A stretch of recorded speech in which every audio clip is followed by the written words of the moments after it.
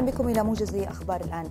انتهى اجتماع الهيئة العليا للمفاوضات مع منصة موسكو ومنصة القاهرة في العاصمة السعودية الرياض دون التواصل لتشكيل وفد موحد للمعارضة السورية. وفي هذا السياق أكدت مجموعة موسكو بالمعارضة السورية أنها تريد الإبقاء على الدستور السوري مشيرة إلى رفضها أي اتفاق يشير إلى رحيل الأسد. قال الجيش العراقي في بيان له إن قواته اقتحمت اليوم مركز قضاء مدينة تل عفر معقل تنظيم داعش إلى الغرب من الموصل. وذكرت بيانات لقيادة العمليات العراقية المشتركة أن قوات الجيش ووحدات مكافحة الإرهاب اقتحمت المدينة من الجهتين الشرقية والجنوبية. وكان المتحدث باسم قوات التحالف الدولي أعلن في وقت سابق أن القوات العراقية حررت نحو 250 كيلو متر من مدينة تل عفر.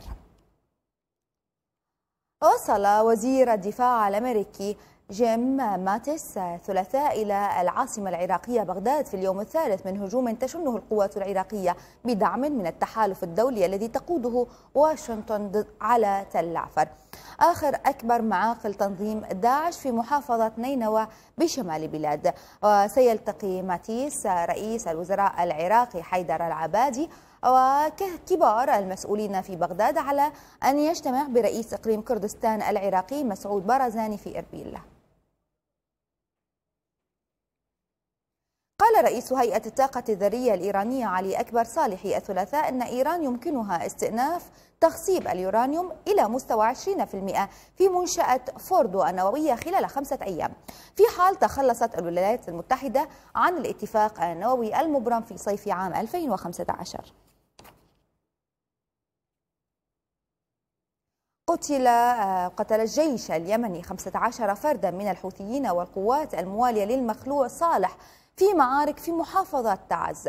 واندلعت معارك عنيفة بين الطرفين في مديرية الصلو جنوب شرق تعز. في وقت تستعد فيه قوات الجيش الوطني لتنفيذ خطة واسعة لتحرير المديرية.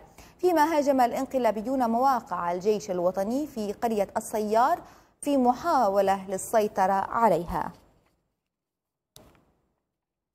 اعترف شاب مغربي بقتل امرأتين وإصابة ثمانية أشخاص في هجوم بسكين في مدينة توركو ألفنلندية لكنه نفى وجود أي دافع إرهابي وذلك بحسب ما قال محاميه يوم الثلاثاء.